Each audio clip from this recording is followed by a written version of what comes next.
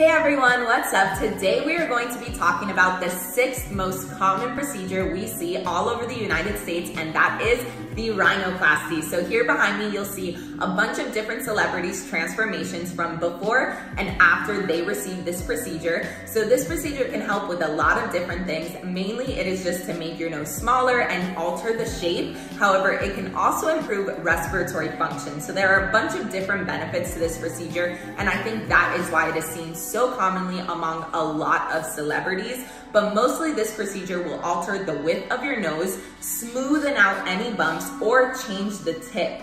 So you see that in a lot of these transformations right here. The nose is completely different after the procedure. It just has more of a fine shape. And we do do the rhinoplasty here at APS. So if you're interested, make sure you're DMing us at APS Curvy Dolls or giving us a call today.